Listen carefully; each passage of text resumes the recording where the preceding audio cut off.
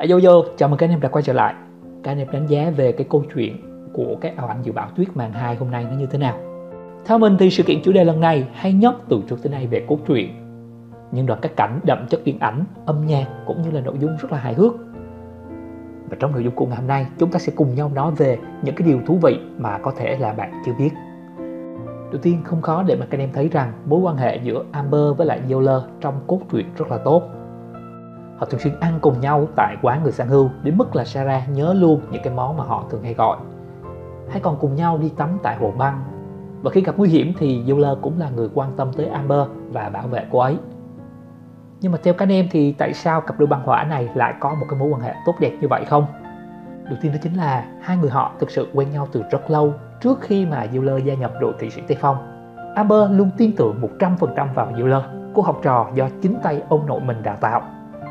Euler đi theo một cái kỵ sĩ trinh thám già đã sớm bị lãng quên, cố gắng học hỏi từ người thầy này. Cô bắt đầu học được tấm lòng độ lượng cũng như là sự kiên định làm đến nơi đến chốn mà xưa nay cô chưa từng biết tới. Sau đó Amber đã nỗ lực hết mình nhiệt tình giúp đỡ Euler xây dựng hình ảnh của mình trước mọi người Mondstadt. Giữa Euler và cư dân có một cái người truyền đạt đáng tin cậy, đó chính là kỳ sĩ trinh thám Amber. Chỉ cần người được yêu mến như Amber có mặt, chủ tiệm sẽ để mặt cô mà bán đồ cho dealer với giá bình thường. Nếu mà tâm trạng tốt, còn trò chuyện đôi ba câu với hai người. Như vậy là mặc dù cái vẻ ngoài của dealer luôn luôn lạnh lùng và xa cách, nhưng mà bởi vì cái sự nhiệt tình của Amber đã làm tan chảy nó. Rốt cuộc theo các bạn, liệu dealer có phải là một cái người vẻ ngoài lạnh lùng bên trong ấm áp hay không? Sau đó thì các anh em có biết rằng tùy thuộc vào những cái lựa chọn của các anh em mà chúng ta có tới 6 hình ảnh payment khác nhau hay không. Khuôn mặt thì sẽ tùy thuộc vào hơi lờ đờ, hơi khó ở hay là ngáo ngơ nhưng dễ thương. Còn về hình ảnh tạo dáng thì tùy thuộc vào các anh em chọn thực phẩm dự trữ hảo hạn hay là thú cưng biết bay cực phẩm. Và sau khi mà Abedo sửa lại, mình thấy rằng nó hơi là lạ. Nhìn nó quen quen nên là sau khi mình kiểm tra cùng với lại bức ảnh Mona Lisa thì thật là thú vị các anh em cái tạo hình cũng như là cái dáng nó y chang với lại bức ảnh Mona Lisa và ở phần cuối của cốt truyện đã có một cái đoạn độc thoại của Abedo. Nó đã tiết lộ cho chúng ta một cái thông tin rất là sốc, đó chính là Abedo không phải là vật thí nghiệm đầu tiên của giả kim thuật sư Gon.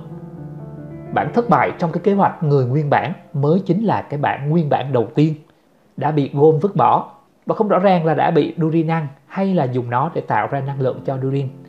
Nhưng mà cuối cùng thì cũng đã nằm ở trong bụng rồng. Và bởi vì con rồng đó bị tiêu diệt tại lòng Tích Tuyết Sơn, nên mới có khả năng thoát ra được. Và Abedo đã tràn đầy cái sự đồng cảm với lại cái người anh em của mình, đứng trên lập trường của kẻ bị vứt bỏ mà cho chúng ta thấy câu chuyện thực sự.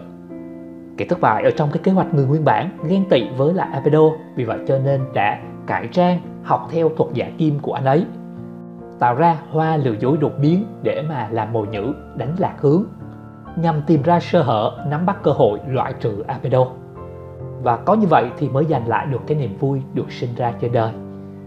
Nhưng mà thực sự thì chẳng thể nào mà qua mắt được nhà lữ hành của chúng ta. Chẳng lẽ cái tên giả mạo này đã gặp phải trong cái lúc mình truy đuổi tên trộm cũng là nó sao? Sao mình cảm giác là hình như hoàn toàn khác vậy? Và ở đoạn cuối thì chúng ta thấy kẻ bị vứt bỏ đang đứng ở trên cao rình rập như vậy là câu chuyện vẫn chưa kết thúc. Chúng ta chỉ mới tiêu diệt được Abedo làm mồi nhữ do hoa đột biến biến thành mà thôi. Chứ còn kẻ đứng sau giật dây sử dụng giả kim thuật để tạo ra hoa lừa dối đột biến này. Chính là Abedo đầu tiên á, thì hiện tại vẫn đang rình rập ở trên núi cao chờ cơ hội để mà trở mình. Và hội Fatui hiện tại thì đang thiếu chân quan giúp chính của Sinora không biết là ở phần tiếp theo Bioyo có dám bẻ cua cho Abedo đầu tiên này gia nhập vào hội Fatui hay không? Nếu mà thực sự như vậy thì câu chuyện thực sự nó sẽ thú vị lên rất nhiều. Ok, nhưng mà chúng ta đã có Scramille với câu chuyện tương tự như vậy rồi. Chỉ có điều khác biệt là A đã không cố gắng loại bỏ Scramille thay vào đó, cô ấy đã cho anh ta sống tự do. Nhưng mà Gon thì khác. Gon đã cho Abedo bạn đầu tiên con rồng Durinan. ok, thật sự rất là tàn bạo, làm sao? Và cuối cùng, điều này được khẳng định lại một lần nữa trong cốt truyện của con thoi chu sa. Ngươi phải theo đuổi điều mà anh trai của ngươi con ngựa trắng một sừng chưa thể thực hiện được hãy vươn tới bến bờ của triết học và theo dệt nên một số phận mới cho ta và cho người anh em của ngươi Gơn có vẻ đã gửi gắm rất nhiều vào Abedo các anh em có thấy điều này thú vị hay không Đừng quên chia sẻ xuống bên dưới để chúng ta cùng nhau thảo luận thêm. Còn bây giờ, tạm biệt các anh em và hẹn gặp lại tất cả các anh em trong những nội dung sau.